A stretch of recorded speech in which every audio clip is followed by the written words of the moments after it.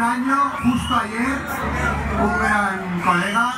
de no sé si alguien más lo conocía, pero lo echamos a faltar, como este